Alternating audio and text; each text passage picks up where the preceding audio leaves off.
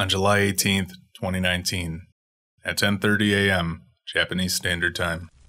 Kyoto Animation, or more popularly known as KyoAni's, first studio caught fire due to an arson attack. The blaze killed 34 people, and another 35 were injured, out of a company that employs less than 150. I feel obligated to talk about this because I haven't really been interested or a fan of KyoAni's work in recent years, but they've still produced some of my all time favorite shows. They've adapted some of my all time favorite stories. Shows I still love. Shows I still revisit when I want to watch anime in my free time. There's so much raw talent at this company. From animators, directors, to even executives who I feel legitimately cared. Not just about their staff or bottom line, but about the products they put out. I can't talk about KyoAni without mentioning this tragedy, or pretending why it isn't what's spurring me to do this video. You'll have to forgive me if this video is a bit light on my usual flippant humor, but I don't think this is the time for it. Chances are, you too have watched some of these anime, and I thought I would do a retrospective on some of these shows. Ones that are near and dear to me. Not because it's popular or beneficial for me but because it's long overdue.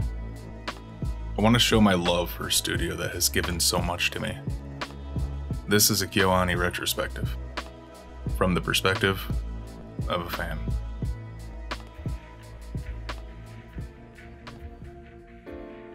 In 1981, a former Mushi Pro staff member left the company and moved to Kyoto, Japan shortly after marrying. It was a humble start to the couple's marriage, and at the time, no one could have foreseen the significance of this simple act, but it would eventually go down in animation history. Both husband and wife held a passion for animation and publishing, and the two founded a company that would grow to shape an industry. One that endeavored to challenge, innovate, and create high quality works above all else.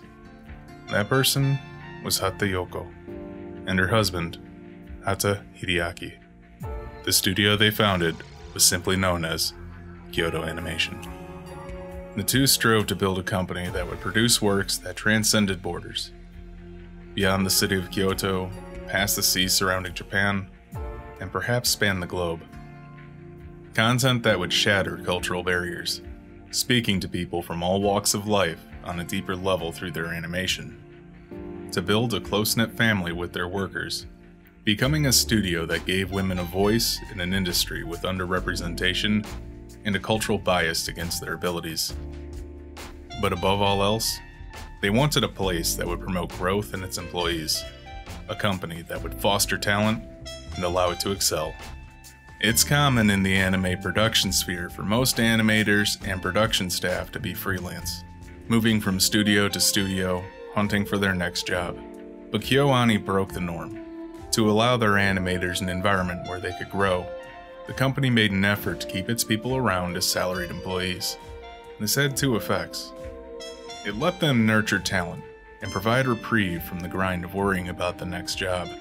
Effectively, it let the staff focus on their work, improving their skills, and strive for the best they could be quality over quantity. And the studio benefited by producing visually astounding, narratively compelling, and emotionally touching shows that propelled them to acclaim. By 1999, the studio had officially become a full fledged corporation, having cut their chops on shows with other studios such as Inuyasha, Kiddy Grade, and Tenchi Universe. It was time to branch out into something new. It was time to put their skills to the test. It was time to produce a work entirely on their own. One of the first anime produced by KyoAni I watched was an adaptation of a Key visual novel called Air. I don't know how many people outside of the Key fan circle remember this show, but I still quite like it. The game was a top seller in its day, so an anime adaptation was likely, though it took around five years for that to come to fruition. The visual novel came out in 2000, and the anime didn't come out until 2005. Looking back, the studio had a lot riding on this production an anime adaptation of a high ranking visual novel for two years straight, topping sales charts when it was released, and a relatively unknown studio getting the project. This could have been a make or break situation for KyoAni. They didn't just stick the landing, they demolished it. It's a touching story about a girl who dreams of flying. She meets a magician who puts on a puppet show with magic, and the two form a close bond. The more the girl dreams, the worse her health becomes due to an ancient curse, which blends magic and reality, a common theme in Key stories. It's the epitome of a dramatic romance, showing not necessarily realistic characters, but certainly likable ones that draw you in. The animation for this series is top notch. This was 2005 when what we consider moe was still taking shape. It reminds me exactly why I fell in love with this studio, and Key shows in particular. Character designs are definitely exaggerated and rough, but this was the studio's second outing on its own, with a first time series director, Ishihara Tatsuya, behind the wheel. It shows that the company was willing to take risks from the start, and ambition was strong with this project, as there was a heavy focus on artistic visuals to convey abstract emotion, rather than having the seiyus do all the work. Sweeping camera movements, dramatic angles, and a beautiful score that evokes the feeling of a scene perfectly. Music definitely elevates the already stunning visuals, using the visual novel's soundtrack to great effect by the production staff. Revisiting this show just screams to me how much the medium was elevated on an artistic level, specifically the television side of anime production. Camera movements this dynamic were usually reserved for movies, and art of this caliber was rarely seen in a single cour show, this became something of a trademark, and it's easy to see why they stood out in the market. I still love this series. Even if it's overly dramatic and the character models don't quite hold up, it's little more than a footnote in the studio's portfolio by this point, but it still set a trend for what we would see in the coming years. And this was just the start of a beautiful partnership between Key and KyoAni. Where would KyoAni go from their previous success? After stunning audiences with Air, they needed another big hit to secure their place as an animation studio. And while they had shown promise, their next big project would absolutely destroy expectations. And in April of 2006, a cornerstone of animation and cultural history was laid when they released the anime adaptation of the highly successful and critically acclaimed light novel series, The Melancholy Haruhi Suzumiya. Haruhi was already a household name by the time the anime was under development, selling millions of copies.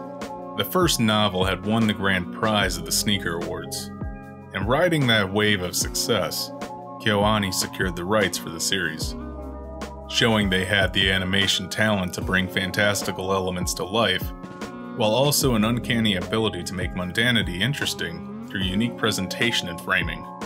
Through their work, they elevated one of the most popular light novel series of its time to the most popular anime in Japan. But that was only the beginning. With the rise in use of the internet, Haruhi saw success in spreading across Asia, and even to the Western English speaking world, cementing it as not just a popular show, but as a bona fide cultural phenomenon. The plot of Haruhi isn't grand in scope or visually impressive much of the story can be written off as coincidence or imagination, which puts the animators and director in a tight spot to make the ordinary visually interesting while conveying the subtleties that make a good mystery. This allowed the animators to flex their muscles in an area they shined most characters. The amount of detail in each, compared to the work they did on Air just a year earlier, is impressive. But beyond that, there's a clear approach to further the cinematic aesthetic with highly expressive models, vibrant colors, fantastically fluid movements, and cinematography that would tell the story unto itself. They needed to capture scope, closeness, uncomfortableness, and excitement visually with a commonplace setting. While their work to this point would make me mildly impressed, this was the series I fell in love with the studio. I think it's safe to assume that without such an exceptional adaptation, Haruhi wouldn't be as popular as it is. And I don't think as many people would be enjoying anime in the West. Coming fresh off the heels of one of the most recognizable and celebrated anime in the world, KyoAni still wasn't satisfied. They endeavored to do something practically unheard of at the time, and that was to do an anime adaptation of another popular Key visual novel, Kanon. You see, Kanon already had an anime adaptation by Toei Animation in 2002. It has a distinctly 2000s Toei animation vibe when looking at it today, but the same animators behind Air wanted to try and rectify the somewhat lackluster attempt. So, with the same director from Air and Haruhi, a KyoAni adaptation was released in 2006. If you enjoyed the animation in Air, it's been refined here, effectively perfecting the moe genre by this point. Characters, setting, scope. Everything the Toei adaptation didn't have was breathed into this one, bringing it to life. Aesthetically, this is the more appealing option. It's also a more faithful adaptation to the original visual novel, but that's not to say they ignored the fans of the Toei version. Almost the entire original cast was brought back to reprise their roles. The biggest but least noticed change would be the length. Much of the plot is cut from the Toei version, having only a 13 episode run. But the KyoAni version was a two cour show, allowing side characters more room to develop, further enriching the show's world. It let their stories be told how they should have been told making a much more complete and heartfelt experience. This is very much a classic Key animation, and the one that springs to mind for many people when talking about Key's work. But I feel most anime fans, at least in the West, wouldn't know Key without KyoAni. The two companies are almost a match made in heaven, with Key providing excellent music and heart-wrenching stories, and KyoAni able to bring those stories to life through excellent animation that fits the theme and music so well. For those who aren't sure, this was a massive risk for the company. Kanon was a visual novel released in 1999 and had an anime adaptation already made. This didn't need done, and could have easily backfired if not handled with the utmost care. Not only did they have an original source material to be compared to, but another, larger studio's anime. And in that light, I respect this, because it didn't feel like a cash grab or just another anime made. With everything to lose and so little to gain, this feels like a passion project. One that didn't just fade into the ether, but supplanted the older adaptation's place as the de facto version. Having struck animation gold with Air, defied expectations by readapting Kanon, and defined a generation of the industry with Haruhi, what more could KyoAni do that they hadn't already in the few short years since they started solo producing content? The answer came in yet another massively successful property that was utterly destroying the 4-koma market Lucky Star. Lucky Star was a 4-koma manga that had already skyrocketed in popularity in Japan, with its first volume selling out almost immediately upon release. So much so that a rushed second print was ordered. By the time an anime adaptation was being worked on, the series had lofty expectations to meet. A fanbase ready to tear to shreds if it wasn't good. This was another popular work with some severe limitations on its premise that required ingenuity and cleverness to work around. That's not to say there weren't any issues with the production, however. Yamamoto Yutaka was brought on as the director for this series, but his structured style didn't fit the tone of the source in a genre where gags only last four panels. Stretching out an entire conversation to cover 10 minutes just destroys the comedic pacing. And by episode 4, Takemoto Yasuhiro, the director of Full Metal Panic, replaced Yamamoto as the director.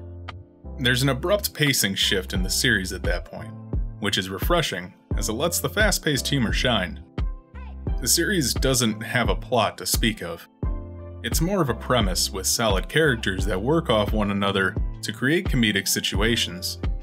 Just a group of high school girls talking about video games, manga, anime, light novels, and Japanese pop culture in general. So the gauntlet is thrown on how to turn that into a visually stimulating experience. How does one make people talking about and engaging in otaku culture engaging? And this is where I think the true genius of the staff at KyoAni shines. Looking at Lucky Star, any given scene, the characters are surprisingly animated for anime. The simplistic art style and flat pastel color palette allow the staff to pack more movement into the series. Characters are constantly shifting their heads, moving hands, changing orientation, which gives you something to watch, and where many other 4-Koma anime in the same vein drop the ball I feel. When KyoAni made Lucky Star, they didn't just adapt a popular manga, they kicked off an entire slice of life comedy craze, spawning countless imitators looking to be Lucky Star. They essentially set what a comedy anime is for the next decade, with fans still looking back on this series as the gold standard for the slice of life genre. After a year and a half of heavy hitters, KyoAni would go on to tackle their last Key visual novel adaptation to date. If you've seen or played a Key property, this is probably the one you've experienced. In the fall of 2007, KyoAni released a masterclass in animation, cinematography, and storytelling in the form of Clannad.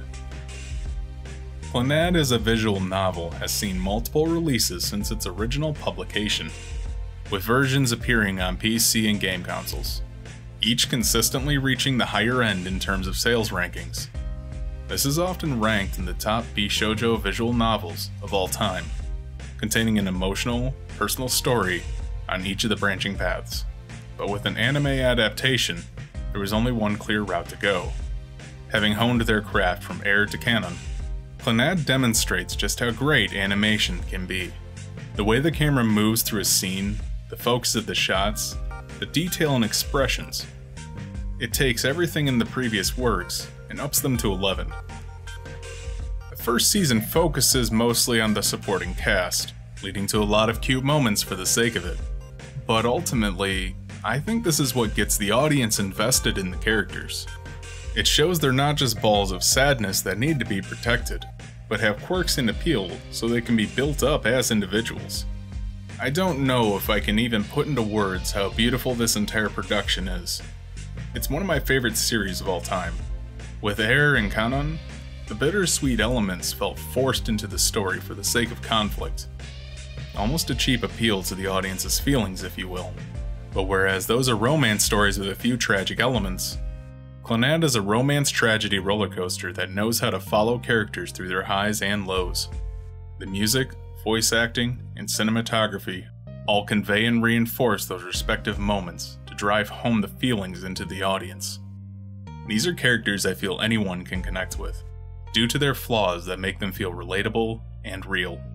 If anyone is looking to get into a more serious anime, break out of the comedy and shonen genres that are standouts in the medium, I often tell them to look at this one.